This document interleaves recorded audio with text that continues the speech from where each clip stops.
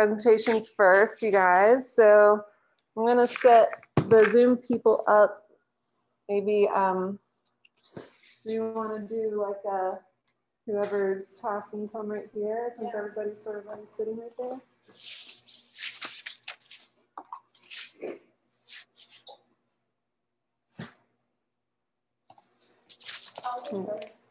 Awesome. Okay, Leanne's first.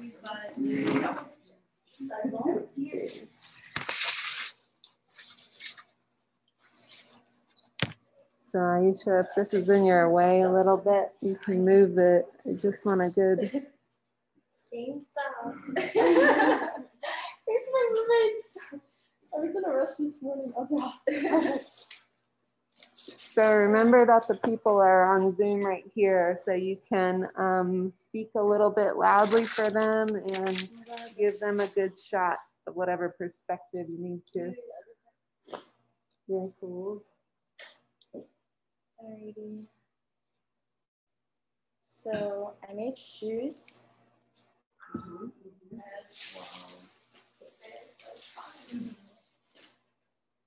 Yeah, Thanks. They're five, like five, five and a half inch tall platforms. Um, yeah, they make your whole worlds different when you wear them. Um, and oh,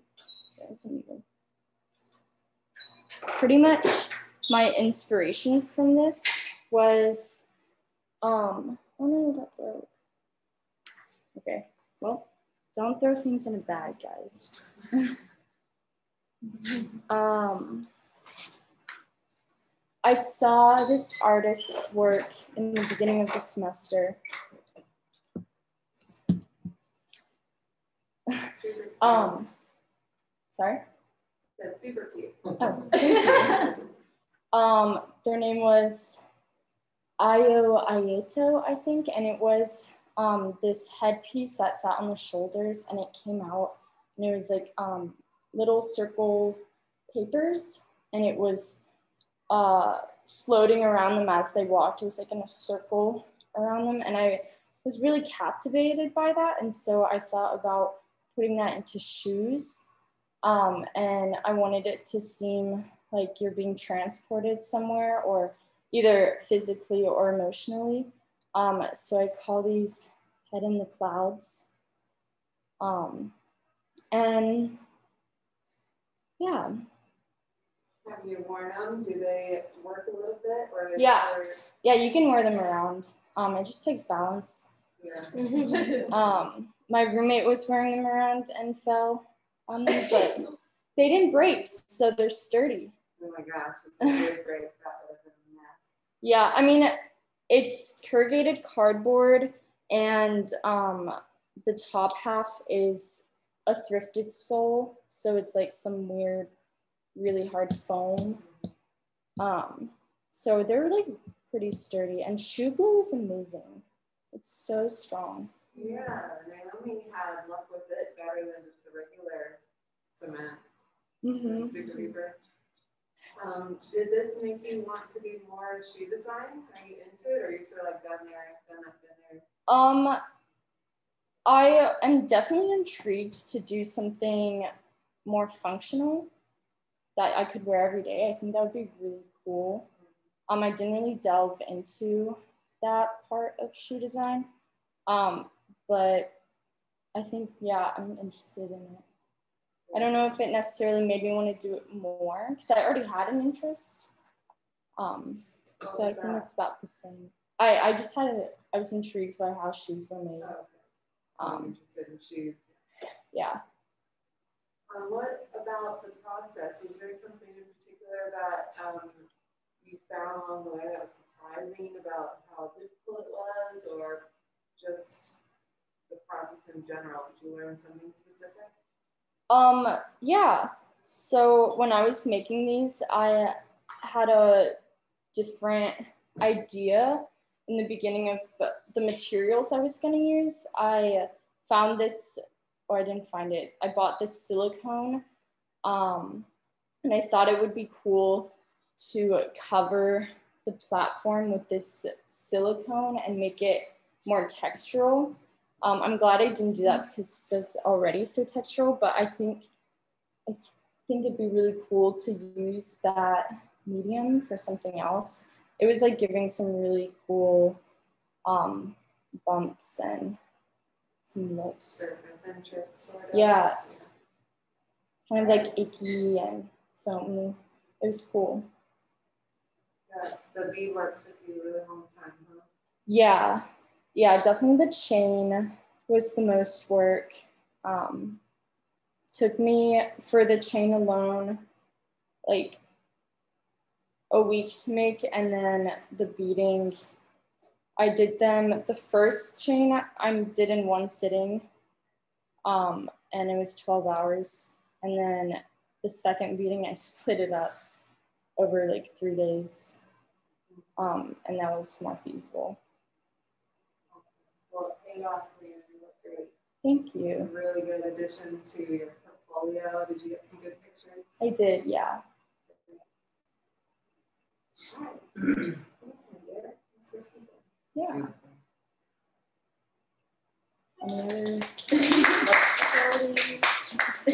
Phenomenal. Very cool. and it's Okay. I'll go next. Right. Oh, wait. You go. I didn't hear you. I have Jeff up in here.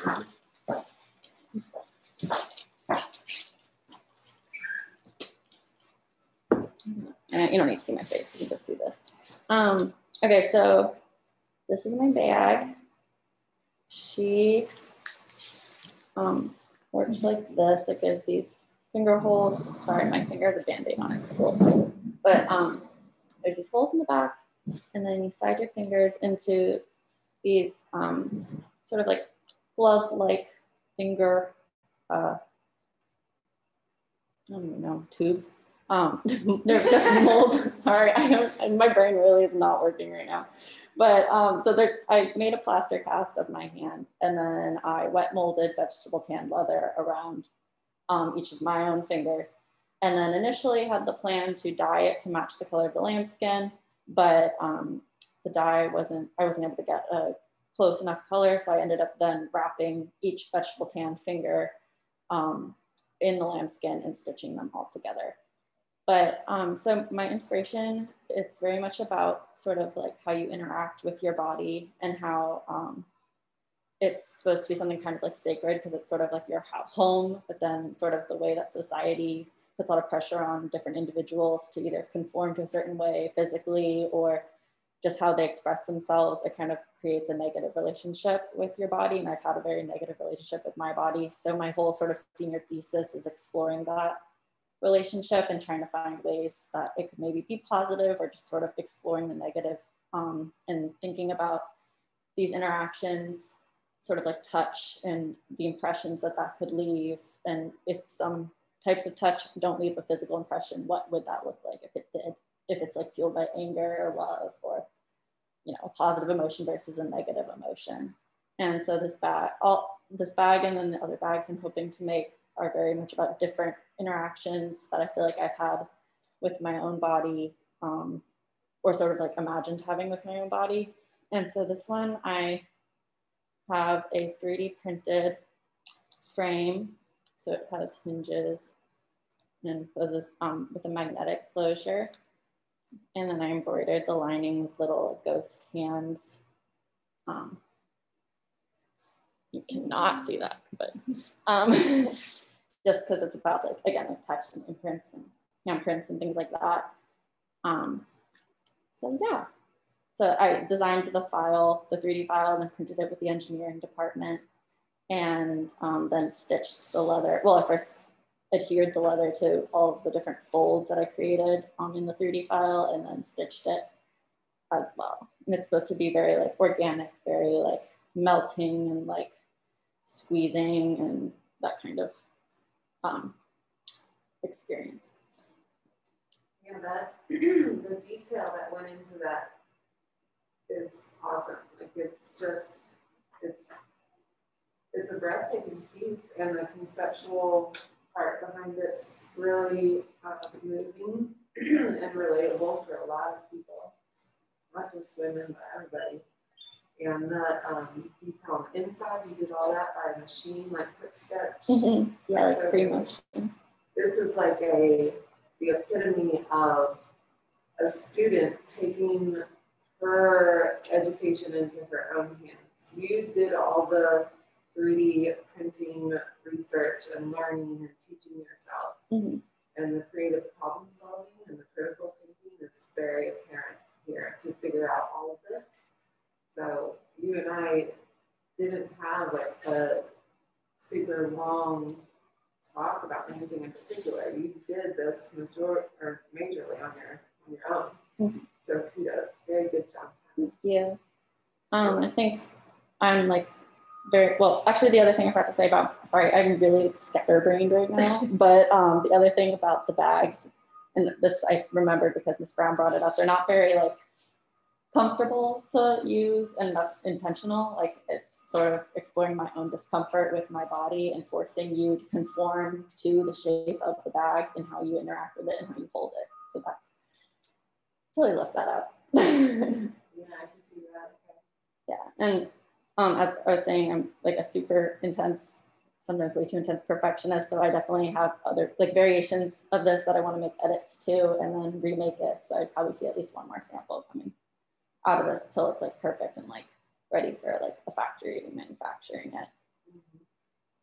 What was the most difficult part for you to manufacture yourself? um i would say the learning process of what forming the finger since it's such a tight like curve and then stitching that was challenging. But then last night i found out the most challenging part was when you don't print the holes that you like designed to stitch through big enough. So you have to like i had to go through with a pin and it's about like 200 holes of plastic and my finger was bleeding because of doing it and push the pin through the plastic to get the hole big enough to put a needle through. Oh um, so that's one of the things I have to change is make the holes bigger so that I can more easily sew um, the leather to the plastic so that it still has a good like, bond, but it doesn't, it's not so painstakingly.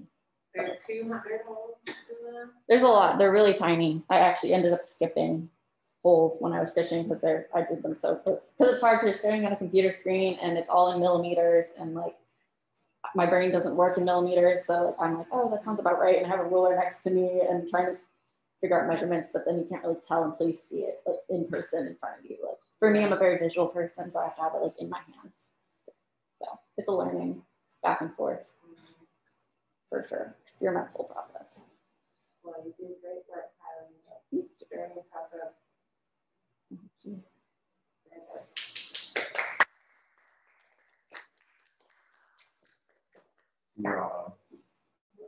Very good.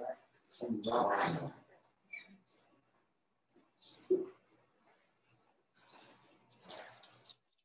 Hey, you guys. This is my bag. Oh my god, Levi, it's amazing. yeah, Um, what up? Wait, what'd you say?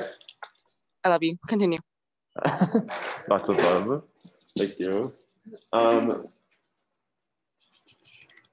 so I was looking at, I was trying to think of in coordination with the stuff that I'm trying to do as a senior collection, thinking of a kind of escapist, surrealist, uh, utopian society in my mind because my last project that we did in the spring abroad was thinking about a dystopian future. So I kind of wanted to flip that, continue some of those designs, but think about them in a more light and cheerful way with how kind of down everything has been this year. So I was looking at work by Hieronymus Bosch, I think is how you say it. His um, painting, The Garden of Earthly Delights, was a really cool uh, source of inspiration. It had lots of flowery, cool, organic, um, both like organic and mechanical, like repeated geometric kind of forms. And was- I don't know, in, a, in the same way that I brought that into here, where there's like organic things happening, but it's also lots of symmetry. Um, and so I was just like playing with some of the shapes that were a part of his painting.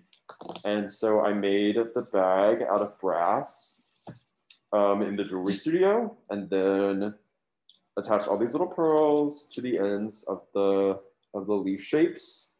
And the bag part is made out of this like laser cut leather. I think it's laser cut. I might be wrong, but it's got a cool like reptile texture on it that I thought was really fun. And I thought the blue and the brass together worked like a really good color combo. And so um, ideally I was gonna have a more sophisticated closure, but I had some problems in the jewelry studio with the torches and things just like blowing around and not working out so well. So I just did this little gathered closure inside, but she's got cute, like enough room to fill, you know, to put a little lipstick, a little mascara, your birth control, whatever you need. Uh, and then easy little drawstring closure you can tie it up and good to go. I don't know, I loved it. I had a really good time making it, honestly, and it, uh, pretty proud of it. I like it a lot. Yeah, like, even the, um, the top, the extra part that you time it still looks finished. You know, it doesn't look like it's missing something. Um, so the, the wholeness of the design is pretty impressive, how it ties in. It looks very cohesive as a single unit. All the shapes, like you're talking about the repetitive organic shapes and the symmetric, like the symmetric quality is still organic to it. Uh, I particularly like how the stand goes up in the center where, you know, how it has that dome shape in the middle of your, your stand. Yeah. Um, it really just reflects all the other sort of organic and tied in curves. Um, but very good, and you pivoted very well going to that, that solution to your problem. Yeah, thank you.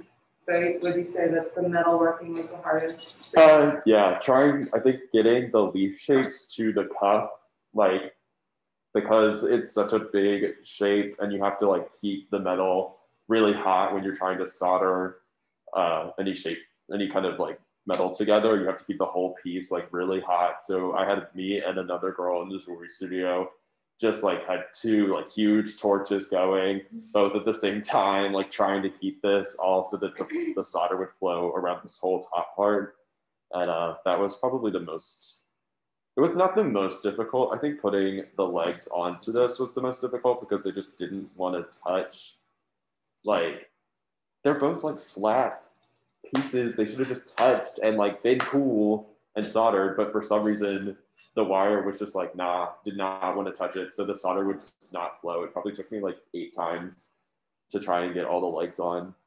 But that was probably the most difficult part. Also, I changed up my handle design because I originally was going to have it so that it was like a crossbody strap that was in the leather. And um, kind of like looking at the pictures I had drawn of it, it didn't make as much, I, I just didn't think it made very, very much sense for it to be a crossbody bag with all of this stuff happening on it. Yeah, yeah, I can see that. So I thought a little handle, a little lantern bag made it a little more practical. Yeah, I don't think anybody in this class didn't change route a little bit with their design because it's also experimental and I don't know a lot of what you guys are doing. I know about bags and that's pretty much it, right? And uh, so me guiding you is a little bit of a lost cause. In some areas, we have to do research together, or you have to do it on your own. And uh, that is a good example of that. Yeah, you did a really, really good job. Very impressive. Job. Thank you. Did you get some good pictures? Um, I took one cute picture of it upstairs on the roof this morning, but I definitely need to get some better pictures yeah, of it for sure. get a time to breathe and- Yeah, I'm gonna take it to the, to- I'm gonna take it to the fab and take some pictures of it, like with a white uh, infinity background or whatever. Um, do you feel like you want to work more with metal, or did that sort of scary off after that? No, I would love to keep working with metal. I don't think that I'm gonna take another metal jewelry class though. I just don't know that I have the time for it next semester. It just like took a lot of time this semester. It definitely like pulled me away from my fashion stuff. And so I pretty much only got like three garments done. And I want to have like a lot more garments next semester to have like a fully realized like collection done. So, but I think I'm gonna try and sneak myself in there and do some personal projects like outside of classwork. Okay. So, yeah, whatever. Thank you guys.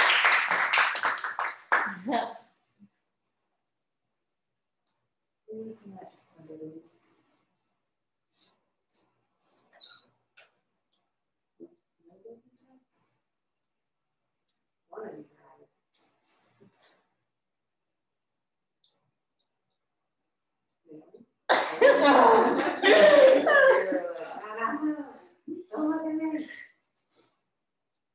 you did a lot of work on this, this head wrap, you know what I mean? It was a hard thing to figure out. But it turned out, you pulled it out. There might be some things that you want to change later, but I think it'll stay. This is my headpiece. Hello, everybody. Good morning. So, um, yeah, this is my turban and headpiece. Um, so I guess the background history of it is just that I guess for my senior like collection just like portfolio, I've been focusing on like reclaiming power and reclaiming Black power and what does that mean to me. And I th- thought like I was looking at different African kingdoms and um, different like queens in Africa. Like as a African American woman, I didn't know that much about like queens and who knew that Africa even had queens. I didn't know that. And yeah, I guess like these women that were very powerful and had like these male roles as far as like fighting and um, taking charge and they don't really get recognized. It kind of gets hidden or like whitewashed a little bit. Um, not a little bit a lot of it but yeah i just wanted to create a turban and a crown. And these cowrie shells they are meant to um, i guess pay tribute to like back in the like back in slavery times, cowrie shells were used to sell like children that were slaves, and um, they were taken away from their mothers, and they also were used for like trading purposes and stuff like that. But um, I wanted to add this to it. Because I thought it was very pretty. Um, but yeah, I guess throughout this whole experience, I definitely learned like that draping leather is a long and tiring process and it's definitely difficult to like make something towards to fit your head and it still doesn't fit my head. I think i would want to make another one um, that fits more to my head uh, but yeah Is it lopsided? yeah so it's a little bit lops well i have it tied in the back but yeah, when I draped it on the head form, I guess like just pinning it and like trying to get it to the right shape, it was kind of hard. So I draped it on that little head over there that I literally wrapped and strangled in muslin. So yeah, it was definitely difficult to like get it to fit my head. So it, in some places a little like to the side or I have to like adjust it. So um, but overall, I'm, I'm happy how it turned out. Like I very much appreciate that I made this. Um, and out of leather, I've never seen like a shirt made out of leather. So yeah. Yeah, there are a lot of things that you have to learn on this one. It's hard to just jump into working with leather in general and making a hat like that, draping with pleats and um, fitting the head too. So you were standing up against a lot of you, know hard tasks, um, but you did it, and you're probably the one that asked the most, which is a really good sign to me. is that you were doing so much work and you wanted to do it right. Um, so that, that speaks loudly to me. Um, but overall, it turned out well, and I understand that you want to make another one. Like, there, almost everybody in here didn't have samples, like full samples. If you're doing something more closely related to a garment, maybe, but um, you couldn't do a full sample. You could you could mimic it the best you could, but these pretty much are the real samples. This is your first prototype. Mm-hmm. You're definitely going to have things that you're like, I wish I could do it this way, or I should have done it that way. Um, so yeah, take that and go with it. If you want to work with some more uh, head wrap designs or headpiece designs, you learned a lot probably from this semester then to do that. Yeah, and I think also like also just sewing the leather was very difficult because I, I had like just all these pleats and they were like very thick mm-hmm. to sew through. So yeah, I think I would probably use like a lighter like leather than this or thin leather than this. Um, like next time I do it. So that's another thing. A lot of people in the class work with leather for um, maybe not the first time, but some of you the first time. And um, what was I say? Oh, the sewing of leather, that proved to be very troublesome for a lot of people because our machines aren't necessarily equipped for that. We should have one walking foot machine in the department, and um, I've been talking about that.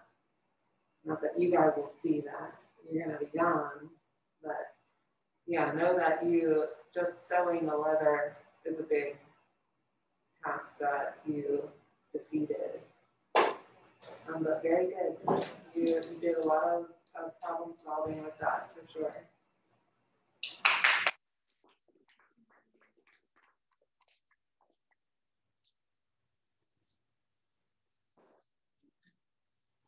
Okay,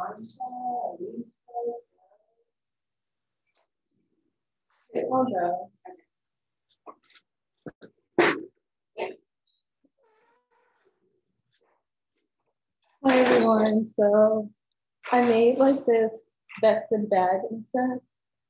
Um, pretty much the inspiration behind it, most of my designs are very face driven. More specifically, the inspiration behind this piece was the Mercury bodysuits, NASA's Mercury bodysuits. Um, they're like a reflective silver like this, and I wanted it to be as functional as the spacesuits resembled as well as um, almost being an accessory that could be added to the spacesuit. So I made it out of this tissue lame and backed it with this waterproof canvas, as well as lined it and added um, some pocket detailing, some canvas webbing, buckles, and some clear vinyl detailing on the side. Because I noticed in the Mercury bodysuits, there was some clear vinyl details. And the straps are also adjustable. I don't know if they can see it, but yeah, and the inside's just lined with regular black lining. But yeah, I think the most difficult part was probably just maneuvering the clear vinyl around this curve here.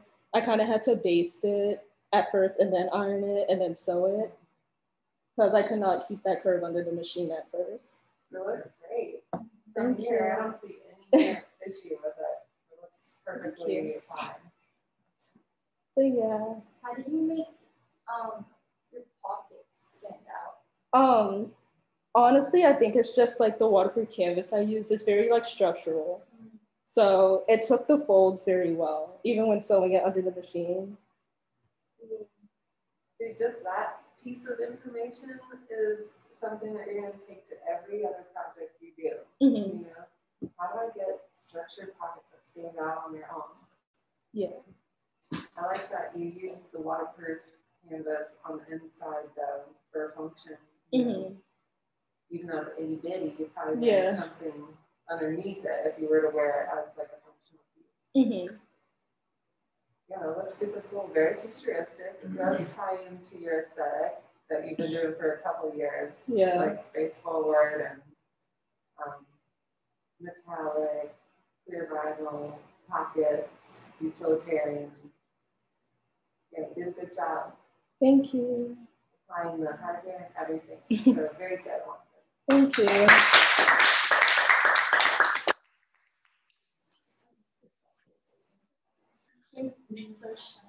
Thank you. I can go now. Right.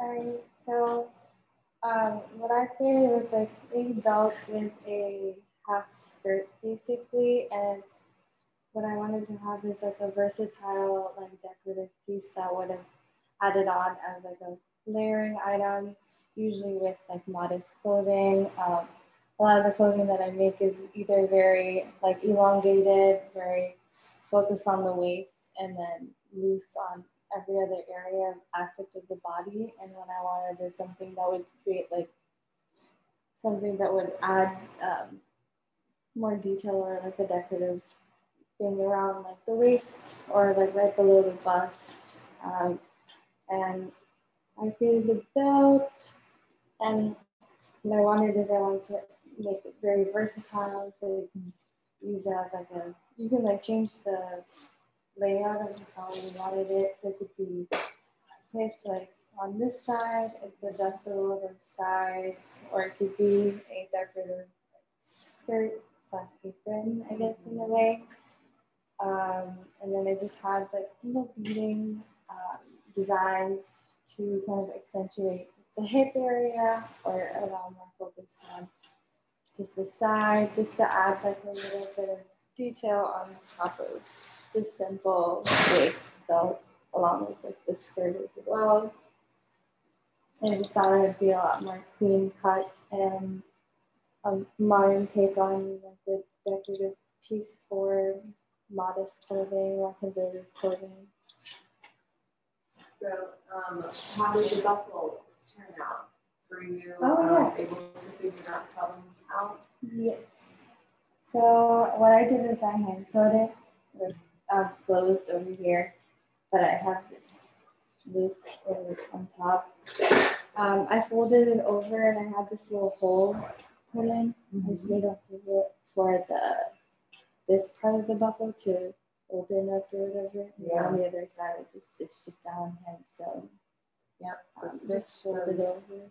Yeah, that looks good. And then my skirt piece on the back side is just attached simply as like an extension. Oh, that looks nice, finished off like that. Yeah.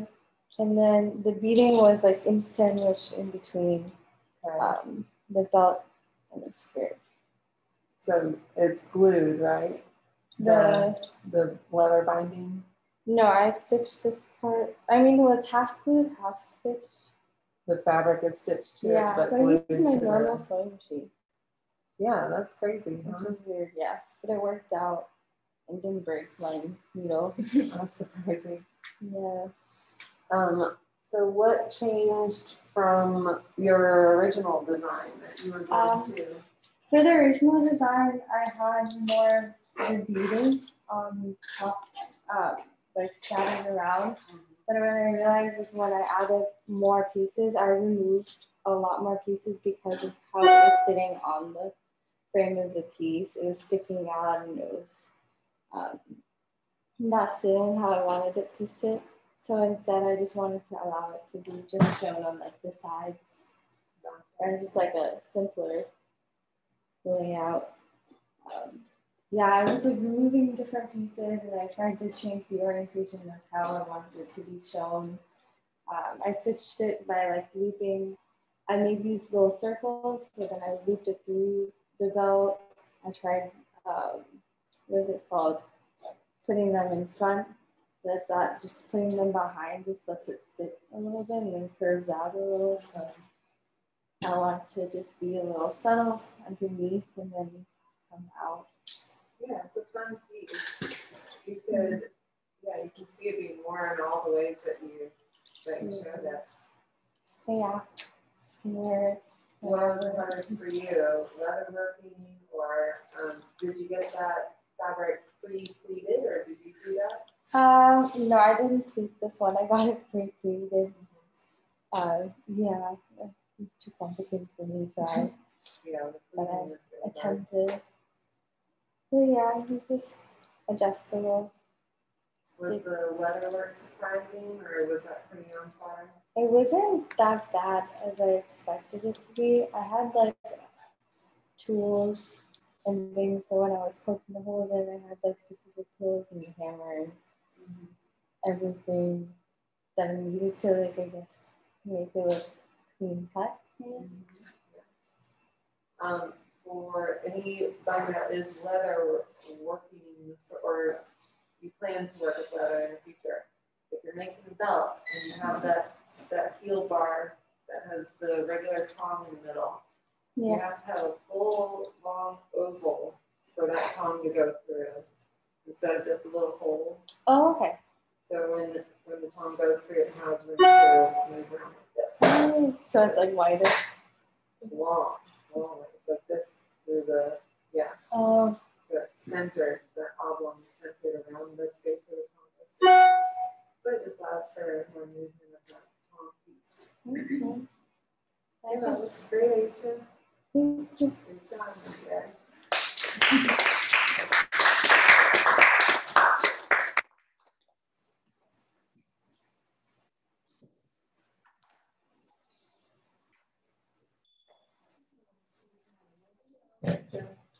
What happened? Did you, um, get enough done, or do you want to wait or?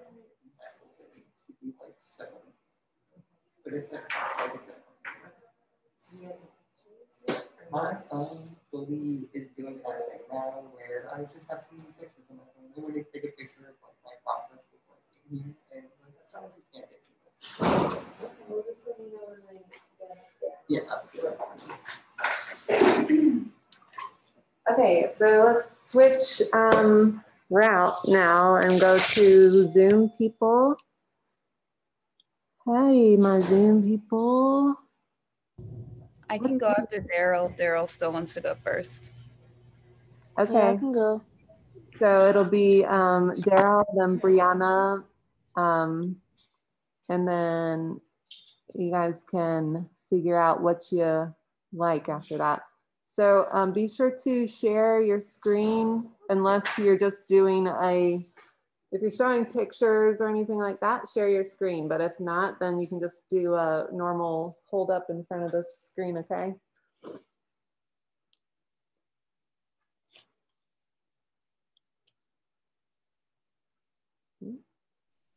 Um, are you ready? Can I go or wait? Yeah, Daryl, you're good. One second.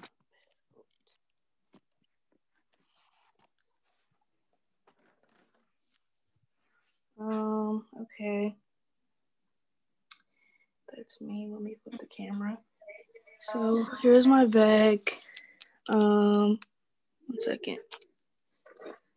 Um, yeah, this is my bag. So the two techniques that I um did for my bag were airbrushing and quilting.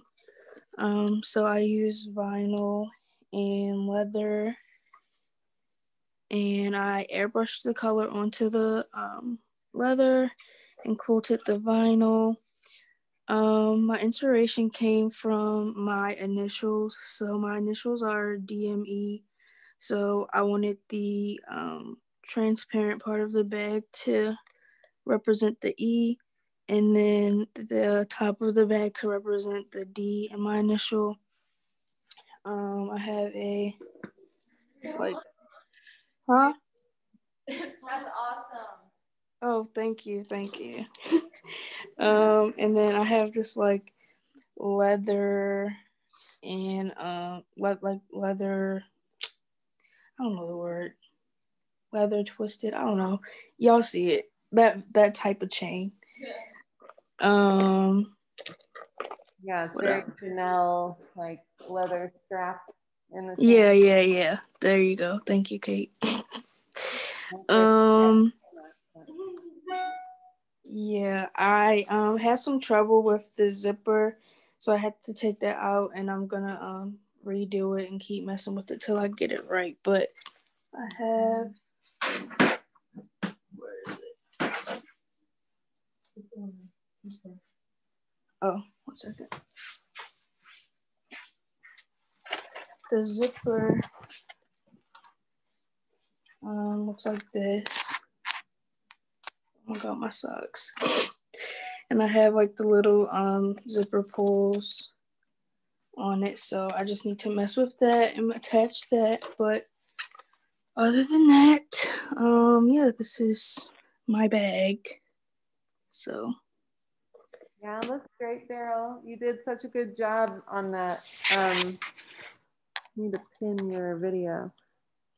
Yeah, the um, zipper, those are tricky, man. The top part of a bag, getting those into um, into the top load, it's it's so unexpectedly hard. When you get to that certain Yes. point, everything seems easy, and then it starts to get real, real fast. yeah. But it's good that you are so interested and um, like satisfied with it that you want to keep on going with it. That's super important that you want to better it and, and follow through. Thank you. Yeah. I um like everything well everything was not going fine, but um I kept messing up like with the binding cuz I was using that rubber cement um to help it stay in place, but once I used the tape and stuff, it um it was like really sticking for me. But I had to redo it like a bunch of times and I wasn't expecting that and then I thought I was good and I get to the zipper and the zipper wasn't working. So I'm just gonna keep trying and hopefully the zipper, you know, will look good on it. But Yeah. Well, now you'll be able to sort of take your time and really, um, we can thoroughly talk out your options, you know? yeah. Hmm um, but it it was a pretty big um, design for you to take on. You know, making a bag is not simple. It's not easy. Yes. Um, what was the hardest for you? Did you uh, putting on the binding or maybe the zipper is the hardest? Um yeah, definitely the zipper and the binding because um like the edges of the binding I need to fix that a little bit too. I couldn't really make it continuous, so like right here. Um, I need to go back and try to work that some more, but yeah, the binding was pretty difficult. I see. Yeah. Well, But- for uh, for the time that you had, it looks great, Daryl. Thank you. just like everybody else, you got uh, your own special little specific lessons that came to you from that design. So Yep. you know that you need a little more time than you think when making a bag. Yes. Well, very good, Daryl. Thanks for talking. Thank you.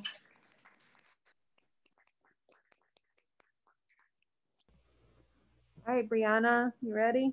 Yeah, I'm gonna share my screen. Um, it says I'm disabled from sharing my screen. Let me stop that real quick. All right, should be good now. Okay.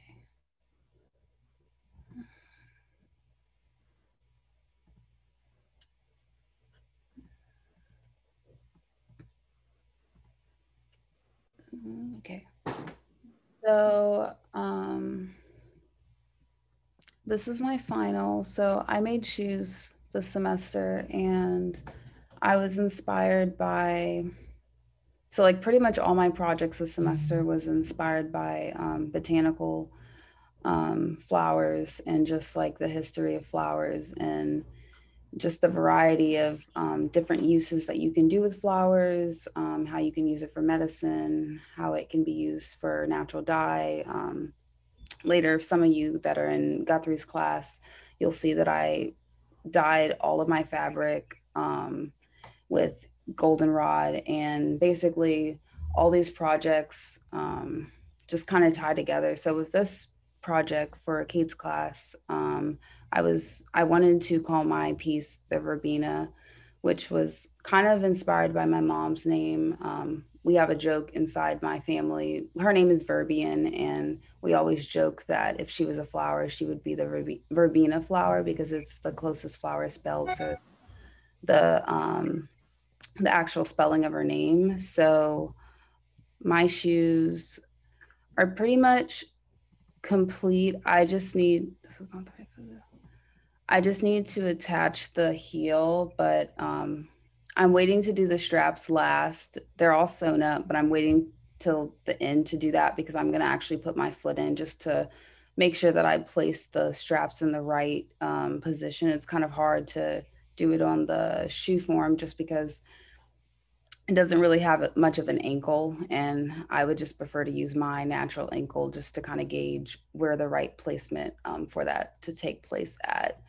Um, but you can't see it in the picture but the insole basically looks like this. So i made a little cutout in my little insole and i did like a scalloped edge and i embroidered the name of my piece um, which is verbena and yeah, like this whole project, I pretty much explored different materials. I wanted to, I wanted to use um, materials in a new way. So like my shoes have a cork filling on the inside, um, which that is covering the cellulose board and the um, the shank board.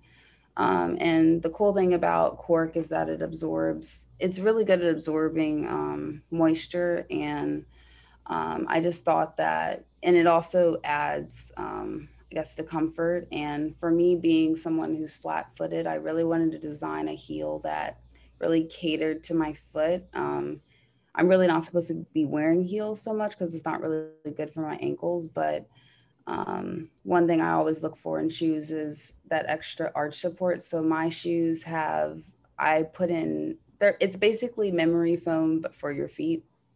And um, I can't remember the exact technical name for it, but um, with some researching, I like bought that and I put that underneath my, um, this insole that I created here um, for my shoe. So my when I finally attach the heel portion, I do plan to go out and take some photos in my shoes. Um, but yeah, this is my piece. Um, I'm pretty happy to where I got it at. It was hard. I feel like my like not my ankles, my wrists are like really sore from all the hammering and all the gluing. So I'm just I'm really happy to where I got it to because like in the beginning when we when this is just an idea phase, I was I was kind of part of me was kind of scared that I wouldn't be able to do it just because I've never made shoes before. And it was kind of like a big leap for me just to take this um, risk. Um, but I felt like my research kind of helped me um, go forward with um, my idea for the semester just because I had so much of it. So I was just like, why not? So yeah, that's it.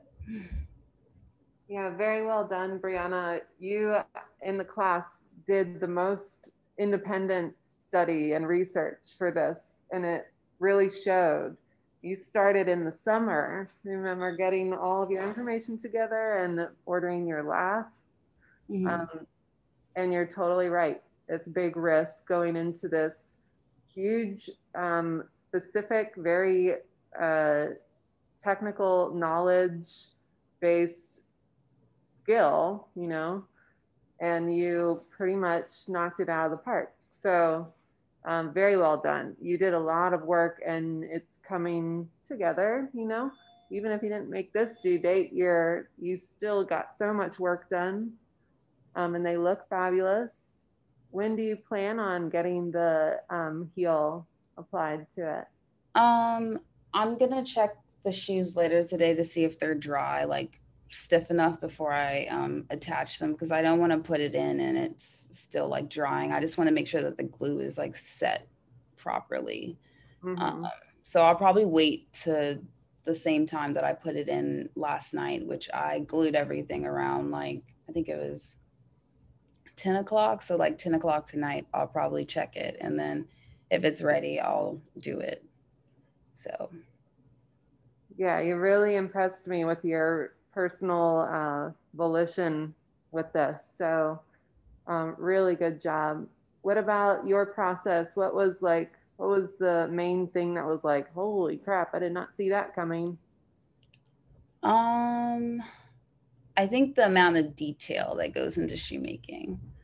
Um, I definitely don't think heels are the hardest shoes to make. I feel like sneakers would be like the hardest just because making the foam for the bottom of sneakers is a completely different monster um, compared to um, other shoes that don't require that um, type of soling for the bottom.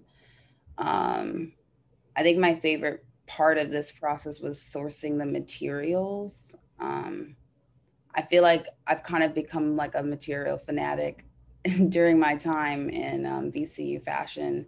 And I really like it. Like I, I love collecting things. And at this point I have so much of stuff, but I mean, I don't really mind because I, I can create something else with that later down the road. So um, for me, like this was a huge like investment, but I definitely um, think it was worth it because I have leftovers. I can use it to make other shoes. Um, but yeah. Yeah, definitely.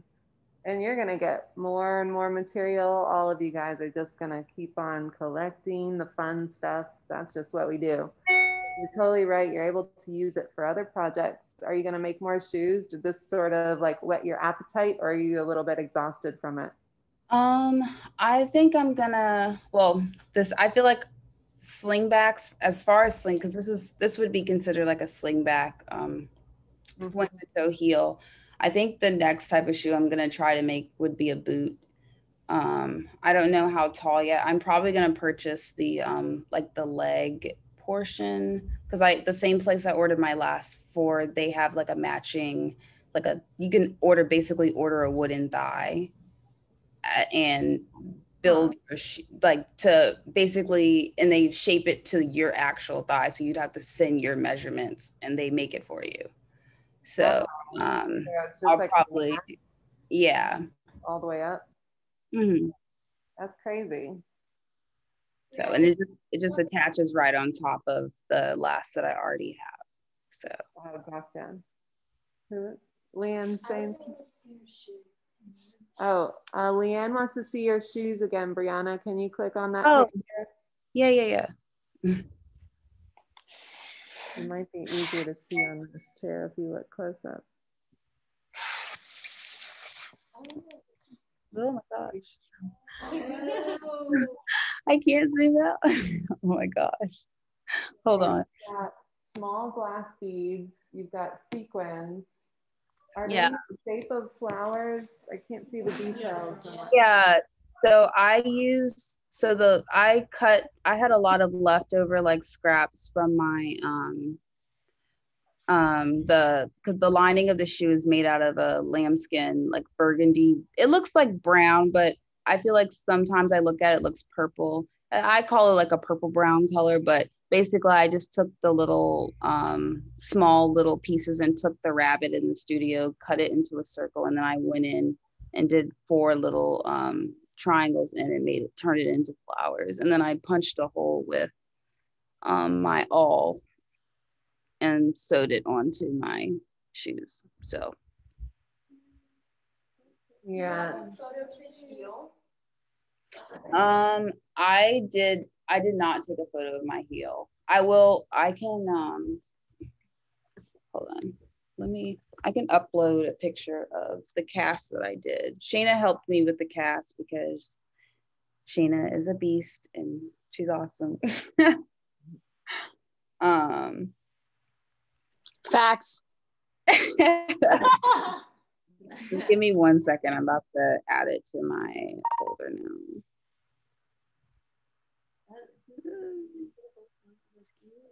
Okay.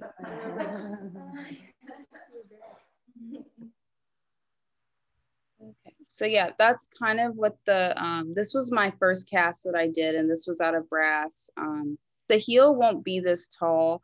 I'm probably gonna I need to um the other ones would be cut down at that. You see where that like part where it clearly it looks like there was there was a brass cast onto another portion of uh, melted brass. So that part I would cut down, and that would be the actual height of my um, heel that I would need for my shoe because this um, heel I ordered from this lady in California who sold heel molds, and it was just easier for me to do it that way than just make it from scratch because I didn't really know too much about mold making um, with like um, I guess plastic and silicone and stuff like that. So I was just like, I'm just gonna do this because it's already made and I can easily sand it and um, shave it down to the shape that I want it to be.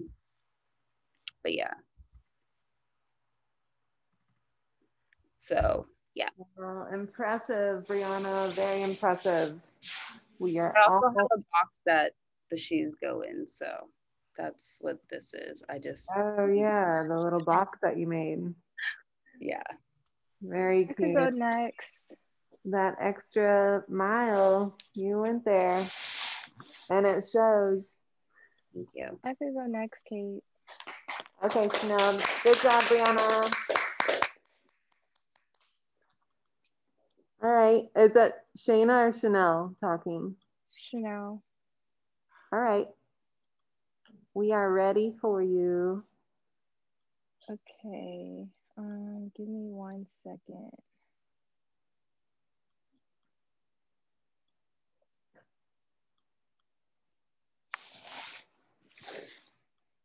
Okay. Um,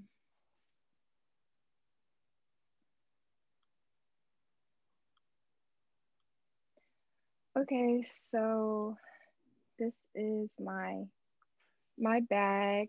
Um, I was inspired by um, the 90s, basically. I, in the 90s, they used to wear a lot of like windbreakers that were color blocked. And so that's where I got my idea from. Um, this is a men's bag, it's not a woman's bag. Um, I basically, when I was doing my research, I wanted to I found out that like the oldest bags were worn by men. They were coin bags, and coin bags are usually round. So that's how I decided on the shape. And I still wanted it to be like um, kind of modern. So that's why I did the the 90s, just because I really do love the 90s and the kind of color schemes that they had back then. And so um, the fabric that I use, this is nylon ripstop and they're all different weights. So that was pretty difficult working with all different types of weight because some, of it was lightweight, some of it was like just heavier weight. Um, but overall, I feel like I enjoyed doing the project. Um, the fabric, working with this kind of fabric was really hard. Like it's so slippery. So I had to use hella pins for everything. And I would stab myself a whole bunch of times with my fingers. And um yeah. That's So your uh, zippers look great. And uh, I see you got the cording in. yeah, I actually I figured out how to do the cording. Um Good. it was a little difficult, but I'm glad that I decided to do it because it definitely did help um kind of sharpen the shape of the bag. Yeah, for sure. And I can show y'all like what it looks like in person if y'all want to see. What do you mean? You're not here. I know I'm saying like on the camera. Oh, I got you. Okay. Okay. Okay. So this is what the bag looks like. Yeah, it's very cute. A lot of pop colors. And the chain um is acrylic. It's like frosted acrylic chains. And there's a zipper in the back for like cards and stuff. hmm And um there's paper in the inside so y'all can see the shape of the bag. But yeah, this is basically it. I really like the um, little peekaboo zipper in the back, that little zippered pocket. Um, The color on the blue is really pleasing. Um, what about the proportion of your bag? Would are you in love with all the proportions? Would you change anything at all if you could? What about the hardware? Mm, no, only thing was when I first started making the bag, I didn't look at my sketch. So the colors are a little out of place. This part, the blue part you see here was supposed to be this color and vice versa. So basically these two colors were supposed to be swapped out. So that part kind of bummed me out, but I had already did this the um the pocket for it. So I was like, I'll just have to suck it up and make the rest of the bag. Mm-hmm. Yeah, just for time's sake. And yeah, other than that, I, I like it. Yeah, you did a great job.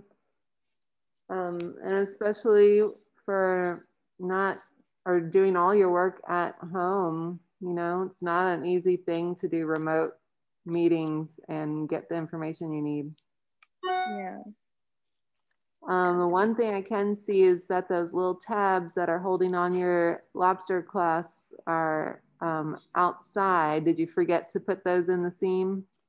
I did, and then I tried to undo it. Like I took out the seam and tried to sew it in the inside, and it started unraveling because I had already cut the seam allowance down.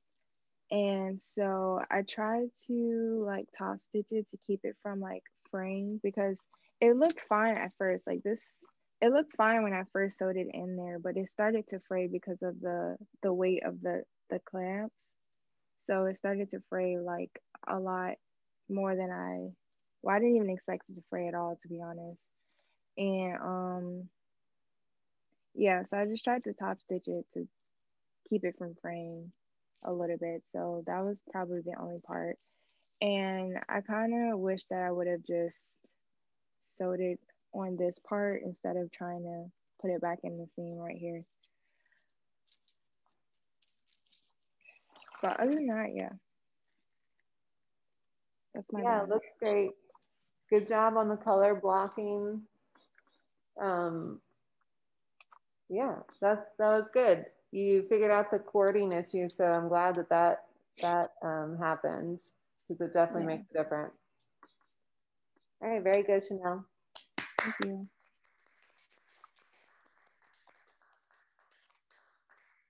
Okay, so who do we have? I can go next, Kate. Is that Rachel? Yeah. All right, we're ready for you, Rachel. Mm -hmm. Um, I'll share my screen. Uh-huh.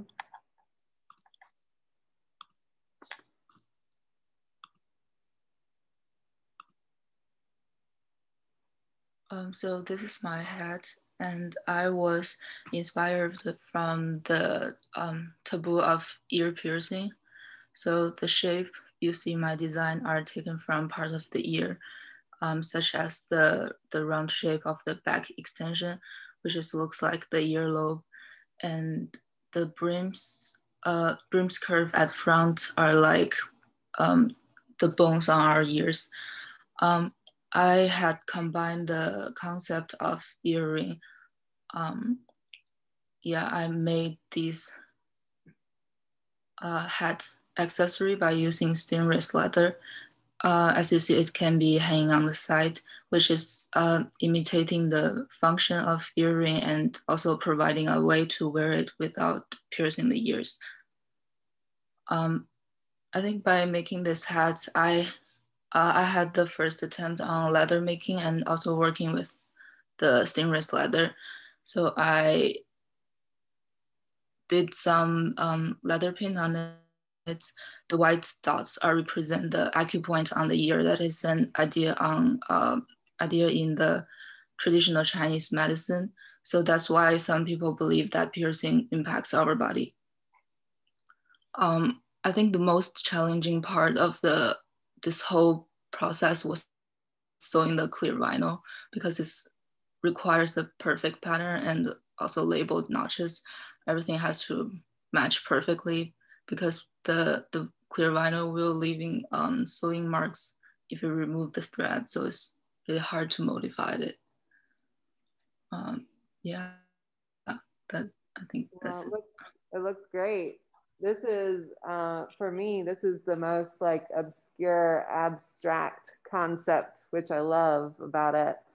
Um, it looks, it, it's like you, you want to know more about it. So it's very compelling, Rachel.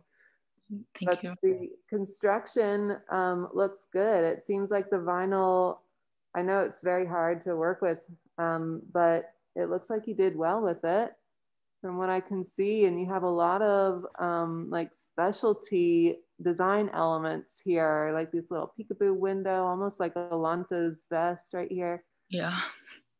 And the new materials, the stingray leather that you were working with. Mhm. Um, have you put it on? Do you wear it? Have you put it on a person? Uh, yeah, I've tried it on. Does it fit good? Would you change anything about it? Um, uh, it's a little big for me, but it fits well, I think. Yeah. All right. Well, it's very, very good. Um, I would like to see it on a on a human if you get the chance to get a photo. It doesn't have to be like perfect portfolio style, but if you get a chance to do a, a picture on actual body. Mhm.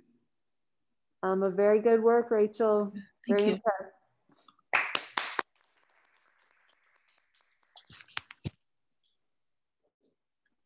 Okay, so we have Cancini and Shayna. I don't mind going. Um, Shayna. All right. Where we at? Um. All right, these are my shoes.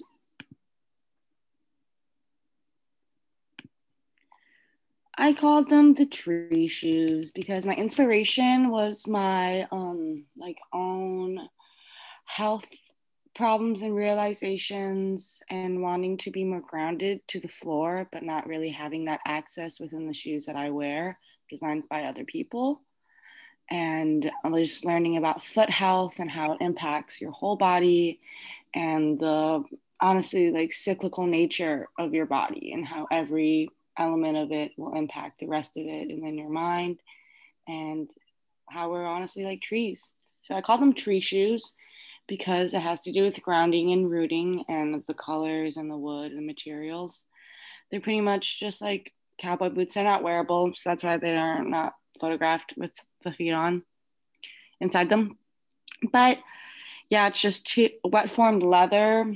I wet formed around a resin cast of my foot that i made so that um, i can get the undulations of the toes um, you can kind of see in the last photo but like the undulation of the toes um, which was part of my concept because your toes are actually supposed to be spread way more than our shoes allow your toes to be. And that allows you to have more contact with the floor and better center of gravity and then just better overall health, especially with your spine.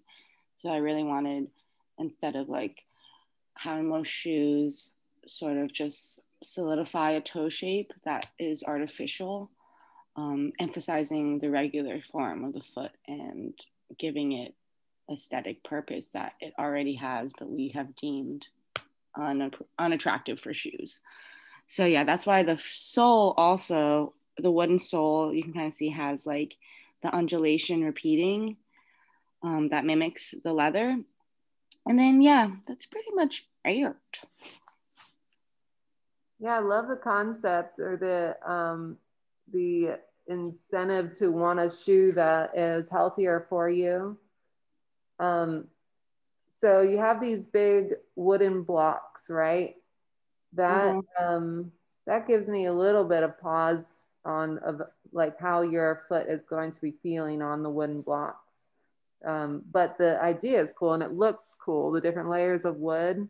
Mhm. Um, what about the shaping? I know you were talking about when you're stitching up the seams of the shaft that the shape around the ankle and stuff was getting too bulky or um, laying in a way that you weren't exactly happy with? What would you do to change that if you were going to make another one? I mean, it worked out pretty well for me. I glued down the seam. Uh, I think if I were just the order of operations, um, making the last two, because my last was to my foot size, so I couldn't necessarily use it all in one um, because it was so close to my foot size, and your last is usually like a little bigger to give room for ease. So I had to wet form the pieces um, with before I attach them. And usually you wet form everything at once when it's all attached. So just order of operations, also timing and like just my process doesn't really work well by doing four things at a time. I'm a very like I'm going to do this one thing really well and focus on it. So if this was my only project, it would be much better. Was it hard to sort of rely on a friend to do part of this? Like he the guy only because of the deadlines. If me and him were just in the real world as we are now um i think it would have just been more fluid and more of a collaboration but because i had these deadlines it was very much just like get it done. Right. Um, do you feel like you learned from him though when you guys did that process together that you were you took some information from watching him or talking with him? Mm-hmm. for sure that's good that's where those collabs will come in hand. Mm. Um, all right, very good, Shayna. Cool.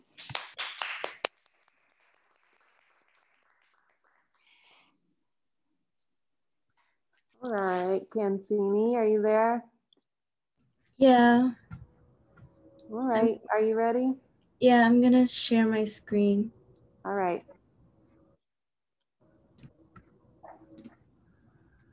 So these are the boots that I upcycled and my inspiration is from Elsa Schiaparelli's circus collection. And one of her accessories that she designed were these long gloves that were pink and they had long ruffles running down them. And that's when I was inspired by them. So I designed these boots, and one of the most fulfilling aspects of making them is learning how to quilt because I've never done them before and I got to do that. And the most difficult part was cleaning the boots because pleather and glue, it was just a lot of mess. But yeah, I like how it came out. Yeah, I get a very strong surrealist, like whimsical feel from this. So that was very successful. You did well. Um, what about attaching the actual materials to the boot? How did you get in there? Just by hand stitching? Yeah, it was all hand stitch. Oh my goodness. So that took you a long time, huh? Yeah, my fingers hurt, so I had to buy a thimble. Yeah. To, yeah. Yeah. So useful. Have you put them on? Or did your mom see them? They're her boots, right? Yeah. Luckily, it's like my size as well, so I can wear them. Would she ever wear something so um, flamboyant? Yeah, she would. that's awesome. She's very supportive of my design. Oh, that's good. Well, they look great, super fun, and the execution looks great too. That's not a easy thing. It's very frustrating trying to get into those small spots with hand stitching. Yeah, especially like the corners, the small crevices. Mm-hmm. Yeah. Awesome. Well, good job, Consini. Thank you.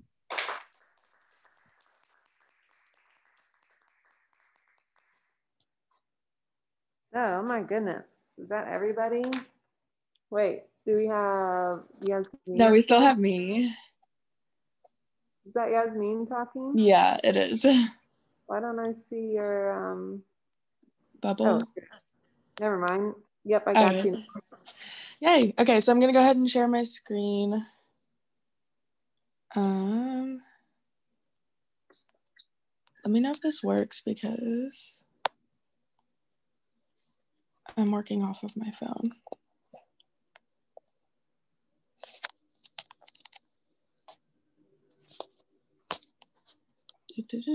Okay, so I'm in my portfolio bag and most of it was just catered to working on my surface design, um, which I'm so tired of saying because I feel like I've said it at least three times a day now.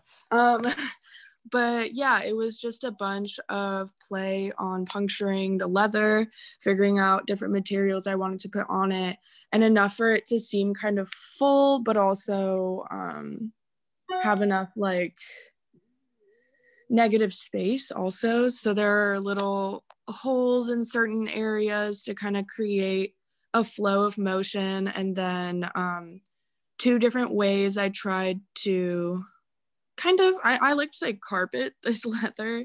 And then I used another um, leather material that's way more lightweight and easier to work with um, to create a contrast in color, which I want to say like got a year ago. So yeah, I was very I was very happy to finally be able to use it. And then these handles are just wooden circles that I had to kind of stain for it to match the contrast leather. So yeah. And then um, this is the back side. And then this is like a focus in on a little bit of what that looked like. And I think that's it. Yeah, I think that's all I uploaded. Yeah. So that's about it. You got the front done, but the back is sort of a plain. Um, yeah, I was thinking about putting a triangle across the middle of it um, with the contrast leather, but once I tried that, I didn't like it as much. So I was more settled on leaving it as a plain surface. And if I wanted to change that in the future, I could, but this is what I was most comfortable with now. Um, so what about the um, shape and the structure of the bag? What happened to the idea of the box corners or some sort of volume that gives you a depth or width? I tried to do that, but when I picked the bag up, it created like a weird, like the top of the bag did not have enough structure to maintain a like square box. It was kind of like pulling the rest of the weight and then awkwardly hanging, if that makes any sense. I don't know how to describe that. I basically undid those stitches because this worked better. And also, like, if this is a portfolio bag, it keeps everything flat on the inside versus the um, dimensional piece was like not only not functional at the end, but also, um, I guess, wouldn't work with pieces that need to stay flat. Okay. Um, and so the top load of it, is it fully open, that entire top? Mhm. Yeah, I have little snaps in place. Are you completely finished with the um, surface design that you were working on? Mm-hmm. And I can't remember the, was there a concept behind that or was it just a purely aesthetic, you were going with your gut type of detailing? Um, I was just going with an aesthetic so that I could match the rest of what I'm putting inside, like work wise. All right. Okay. I would like to see this in person, well, with every, all of them. So I'm looking at the, um, the holes, like the little perforations. That part's interesting to me. It almost looks like an addition rather than holes, but it's probably just the picture. That was actually the first part. It probably took me the longest. And honestly, I feel like after this project, I can definitely say uh, blood, sweat, and tears have gone into this. I did not expect to get poked so much. Yeah, definitely leather will make that happen. Did you poke it with an awl or by machine or what did you get those holes with? Um, I did both. So I started out with the machine to make sure that it was spread apart evenly. And then um, I realized that they weren't big enough for it to appear like as a surface design. So I went back with an awl and individually each like poked one. So yeah. Gotcha. Well, I um I can see the time that went into doing that. So well done on that. Thank you. All right. Great job, Yasmin.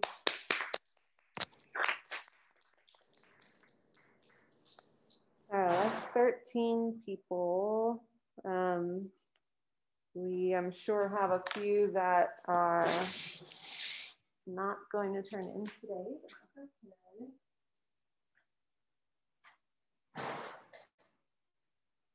So that was really great, you guys. I'm so impressed and proud of you guys for making all that happen with everything else that's going on, all your other classes. It's impressive that you you can juggle all this and actually get things done. And as well, when um, your design changed a little bit, or if um, you know you didn't finish all the way, that that is not a um, that is not anything to feel weird about. That just happens. If you have extra time, that's just luxury. In the real world, it, it'll you'll have both of those things where you have a bunch of time to make corrections and times when there are no flexible due dates. Um, but I really loved having you guys in class this semester. I'm sorry it was so strange that we had a lot of remote learning and people scared about the sickness and um, this is your senior year so it's sort of really developmental and and special. I hope that you learned a little bit from your own process in this and i know that you noticed my style of teaching is not very rigid. It's like let you guys go. It's a senior class this is your time to find your own way of dealing with stuff time management how fast you personally work, you know, uh, and the critical thinking, the, the problem solving, the creative problem solving is huge. So that exercise is very important, which I hope you guys got this semester. Um, so to recap, the 28th is when spec sheets are due. That should have one tech flat in it um, should be the front. If you're only doing one, should be the most important perspective of it with uh, POMs. Spec sheet should also have a BOM, your bill of materials. I wanna see um, a list of the materials included in your whatever design you have. So that's the spec sheet. And then the illustration should be close to, it should be exactly the, the final product nothing before um, when you had a different style or a different design completely. So it needs to reflect your final piece. Uh, and obviously with color and annotations. And then lastly, so we've got our shared Google folder. Um, did everybody see that email at some point? So if you want to, which if I don't get a lot of people, then I'm, I don't think I will do it. But if there's enough of you that want to have this work sort of put into an edited video, then uh, just pop in all of your video into that, the interview of yourself being, you know, answering the questions, landscape. And um, I think that's it, you guys. Uh, if you haven't uploaded your photos already, and if you have already uploaded, um, think about what you took shots of. I really want to see details. Think about it from my perspective.